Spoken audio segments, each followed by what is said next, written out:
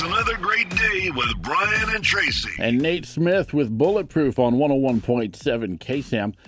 Okay, who touched the thermostat? Mm-hmm. Yeah, the fights are going to get more and more interesting if this trend actually makes its way to Texas.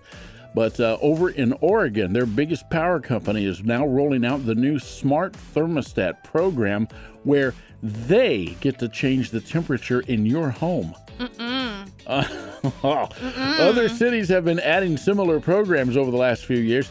Basically, you install the smart thermostat and you pay a little less each month in exchange for letting them control your thermostat remotely. Yeah, that would not work for me at all. My, me neither. Uh, during peak hours, they they would up the temperature by just a few degrees to reduce the strain on the grid, and uh, that usually is between three and nine o'clock in the evening.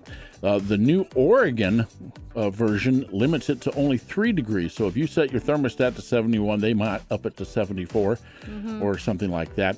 Uh, anyways, what do you do? You think you would go for that? You want someone controlling your thermostat? no, No. no, because here's the thing, and I I am responsible enough of an as an adult to where I can control my like bring out Yeah. my temperature one or two degrees. But when you have multiple sclerosis, they don't know what I go through. So what if they decide, okay, we're gonna check it up five degrees, six degrees, and so forth to save money for our grid, not for me. It's for them and their grid. So then all of a sudden, I'm heat having no no no no no no no no no. Yeah. No. Yep, different people got to have different uh, temperatures. Some Exactly. some can handle it a little warmer, and others need to have it much cooler. So, yeah, I, I wouldn't be very comfortable with that either. It, it would That's- it would start an argument. Like, I- Who touched my thermostat? Yeah, exactly. It's like get out of my fridge. Get out of my fridge! yeah, next thing you, you're changing the thermostat. Next thing you know, change the channel on the TV. someone's been taking the root beer. I mean, come on. Chase Matthew on 101.7 KSAM playing today's best country and all of your favorites.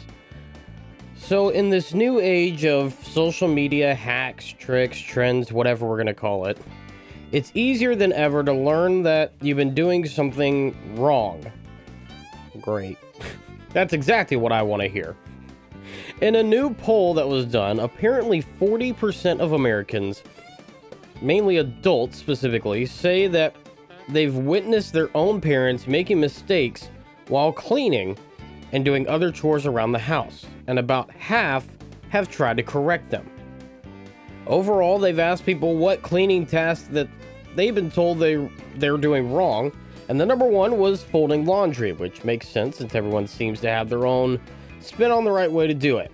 I was a I was the oldest, or I am the oldest in my family, so I was the laundry kid. That was it. You know, folding clothes, separating them, dishing them out, everything. But here's a top 10 list of what people have been told that they're doing incorrectly. We'll start at number 10. Dusting at 16%. Number 9, also at 16%, cleaning furniture.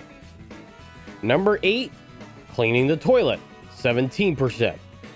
Number seven, the one that perplexes me on all this, at 18%, mowing the lawn. I don't get how you mess up mowing the yard, but either way. Number six, gardening or yard work at 21%. Number five, doing dishes by hand, 23%. Number four, loading the dishwasher at 25%. Number three, doing laundry at 26%. Number two, mopping slash sweeping at 28%. And folding laundry, 33% of people say they've been told they're doing it wrong. I feel like I need to go back to the, the, the mowing the yard thing. How do you mess up mowing the yard? It's pretty simple. You stay in your yard, you go up and down in lines, and then you edge afterwards, and you're good to go. I don't get I don't get what the difficult part of it is. Kevin Sharp on 101.7 KSAM playing today's best country and all of your favorites. So, apparently today is a national holiday. It's National State Fair Food Day. Apparently, this holiday is only a couple of years old, but while it's that, apparently, state fair, well, I say apparently, state fairs are definitely not only a couple years old. The first one was held in Syracuse, New York in 1841. That's 183 years ago. According to a recent poll, the number one reason Americans go to state fairs is for the food. Agreed. 81% of people say that's a draw more than spending time with family and friends, entertainment, music, rides, animals, so on and so forth. But some states are crazier about the food at the fairs than others. A survey found that the state of Vermont actually loves their state food, state fair food the most. The others, Ohio in second, followed by South Dakota, West Virginia, Washington, Arkansas, North Dakota, Tennessee, Florida, and Iowa. Utah is the state that is the least interested in fair food.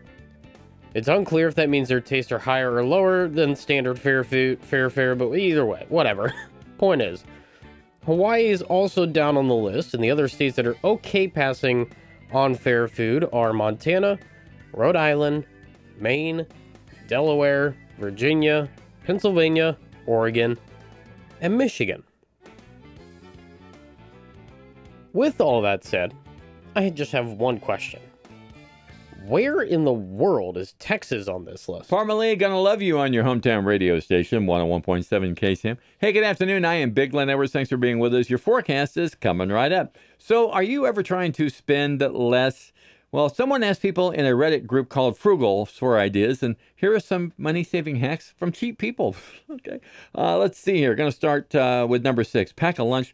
Course, not a new idea, but someone did the math and found that it saved them $35,000 in 12 years. Think about that. That's like three grand a year. Uh, number four, plan your meals when you shop. Uh, so if you're going to do pork chops and they're on sale, get them instead of doing that chicken. Number four, pay with cash when you're out with friends. Take a set amount with you. That'll keep you from overspending. Uh, number three, use the library. Uh, most people don't even do that anymore. It's free. Yeah. How about this? Uh, number two, use the budgeting app to track your impulse purchases. And number one, you can't buy something unless you get rid of something else. Makes sense to me. What do you think? Number five on the top 10 countdown, Bryan Martin, We Ride here on 101.7 KSAM, playing today's best country and all of your favorites.